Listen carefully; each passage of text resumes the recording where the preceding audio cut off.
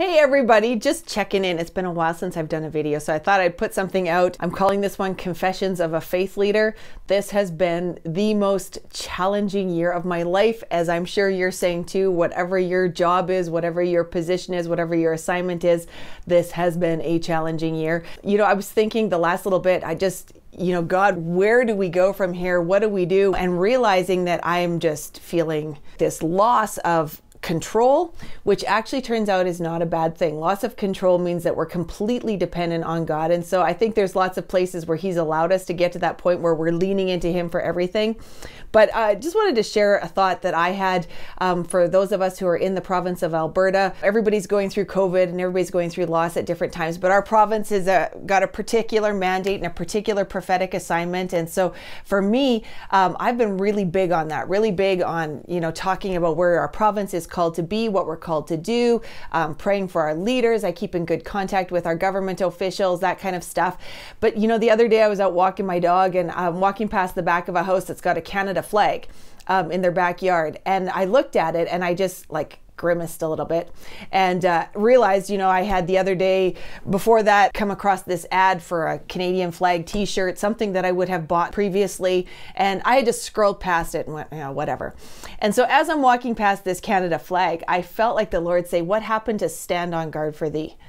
And I felt this check in my heart that, you know, for years, God has called me to stand and to pray and to speak life and to speak the prophetic destiny. Know, no matter what else is being spoken, speak life, speak what God has said over this nation, speak this calling that we've got to rise up to bring healing to the nations, that we're meant to be a blessing, and that within that nation, our province is called to carry the heart of it. It's the birthing province. And so, I, you know, I've carried this for so long, and yet I had hit this point where honestly, I was just frustrated and tired and weary and you know yes still praying for leaders but so over it so so frustrated. And i just i felt this nudge of the lord um, to come back to those heart things again and to be reminded of what He has said, be reminded of what He has called us to, be reminded that He is faithful. And even though everything else shakes and shifts and moves, He doesn't. He's the constant.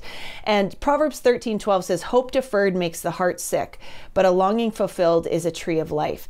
And this hope deferred makes the heart sick. Um, kind of has hit me in the sense that I have been looking for outcomes to change. I've been looking for people to do different things. I've been looking for people to stand up in different ways. I've been looking for votes to go different ways. I've been looking for uh, bills to not pass that have passed. I've been looking for things to shift into a righteous place that haven't shifted. And um, man, that is hope deferred and it has made my heart sick. And I just had to come to that awareness that, like, wow, my heart actually has given up hope that this could change. And that is a warning shot. So, here, true confessions from a faith leader. It is possible, even as a pastor, as a leader, to just get so discouraged that it's ever going to change that you almost quit hoping at all. The, the issue connected with that is that if there is the ability to lose hope, if there is the ability to be disheartened and to uh, to feel disappointed, it means that our hope was in something that it shouldn't have been.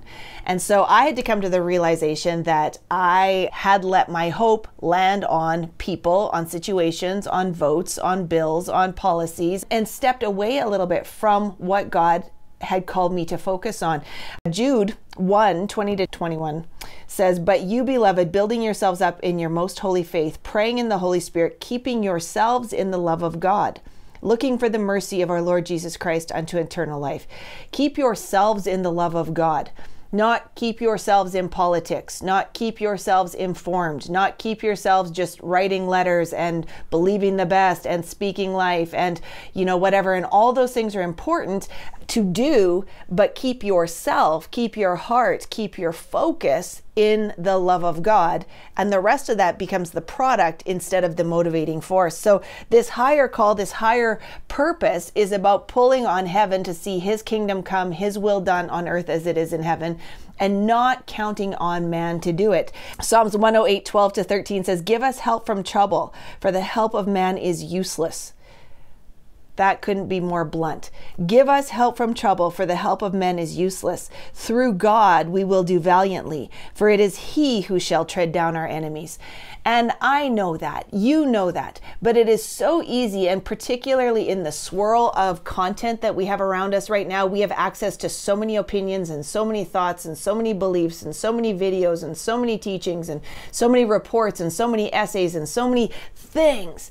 And really, I believe God's calling us as believers, as faith leaders, as faith people to keep ourselves in the love of God and to realize that through our God we shall do valiantly. He treads down our enemies. And we do the practical stuff as an overflow from that situation, keeping in mind that our enemies are not people even though there are people wearing the faces uh, and, and, saying the stuff that carries the tone of the enemy, the enemy is the underlying thing that seeks to steal, kill, and destroy. God has come that we would have life and life abundantly. So, looking past the people, looking past the rhetoric, we look for the source. Is this stealing, killing, destroying, or is it life and life abundantly? And discern accordingly, keeping ourselves in the love of God, knowing that we do not fight with flesh and blood, but against principalities, powers, and uh, heavenly hosts of wickedness in high places. And so Paul told Timothy when he was talking about the hard things that he was facing, the battles that he was facing, he said to endure hardship like a good soldier. So that's the the way we do it. We we are meant to endure. We're meant to stand. We're meant to contend, but as a good soldier. And he says in 2 Timothy 2, 3 to 4, no one engaged in warfare entangles himself with the affairs of this life, that he may please him who enlisted him as a soldier. That again is really clear. Do not get entangled with the affairs of this life that we may please him who enlisted us as soldiers. So, from that perspective, it doesn't mean that we aren't aware of what's going on. We're living it, we're walking it. And honestly, from a leadership perspective, what, what has been part of the discouragement, part of the frustration is just watching people suffer, watching people go through things that seem like needless pain, losing jobs, people uh, going through, you know, mental health issues, depression issues, financial struggles, health issues, like the breakdown of marriage marriages, families. It's it's quite overwhelming. And so we're in this world but we're not of it. So we can't get entangled in that. We can't get sucked into being wound into it. In fact, when the word tells us to wait upon the Lord, the word wait means to be bound together with.